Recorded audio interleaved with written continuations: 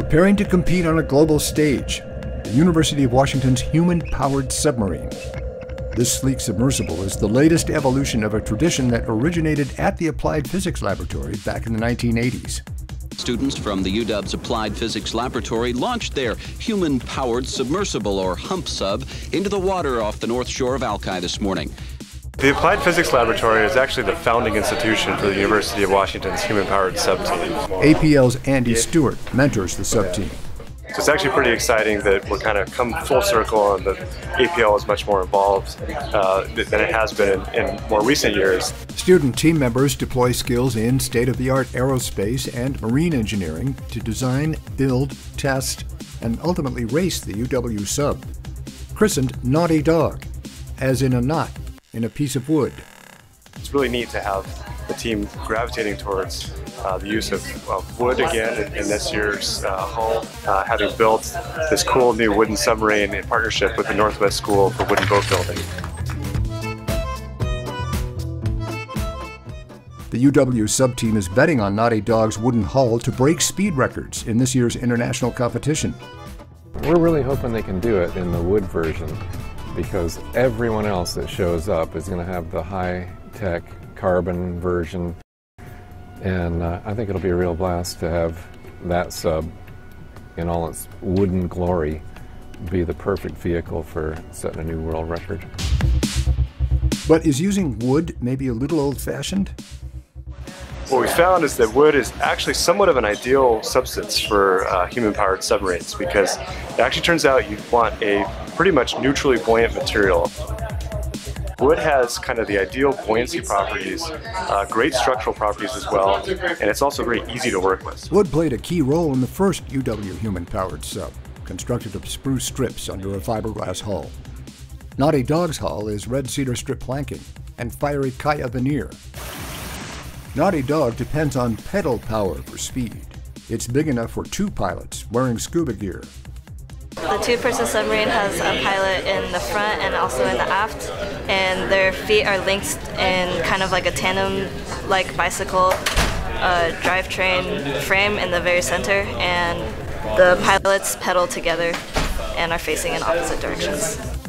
The 1989 sub also had a crew of two. One pedaled, the other steered. Knotty Dawg is longer, wider, and a much greater mass than its composite predecessors. The coolest thing is the fact that we we took this really big goal of having a two-person submarine, the drivetrain and all the pedals and everything in the middle, and transmitting all of that to the back of the submarine to actually be able to move. The fact that we decided we wanted to do that and then we followed through and actually made it happen is pretty amazing. It's a that was a big ask. But because it is such a greater engineering challenge, we learned a lot more from it. More Knotty Dawg firsts, a new ducted prop, and totally electronic controls made totally waterproof everything went underwater for about four hours and nothing died. And so we're in really good shape for all of that. Knotty Dawg is a major project, big enough to require two co-captains. Andrew Farrell is technical director. We kind of divided it as a way of one, making sure that uh, it was manageable. Have someone who can look at all the technical aspects and kind of focus on that, and then have someone who could might kind of manage all the other aspects of the team. Shipping the submarine to England uh, in just a few weeks now, which is exciting and terrifying.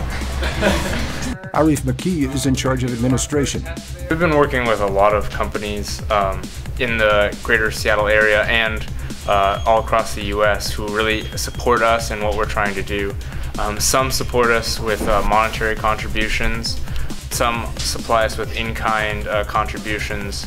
Uh, that looks really helpful because we're doing a lot of machining, a lot of our own manufacturing, and so the products that actual companies in industry are using, we also get our hands on, which is a great experience, um, and it allows us to kind of, you know, get a leg up on the competition. Funding for the UW Human Powered Sub comes from UW Mechanical Engineering and the UW Boeing Department of Aeronautics and Astronautics. After all the hard work solving complex engineering challenges, all that's left to do is compete. Compete in the tradition established in 1989 when the Intrepid subcrew braved the chop and tidal currents of the Atlantic Ocean off Miami Beach. The 2018 crew piloting Knotty Dawg promises to be no less intrepid. It's a little bit claustrophobic, but really not too bad. You can still get the sound of the bubbles from your regulator, which is very relaxing, so it helps.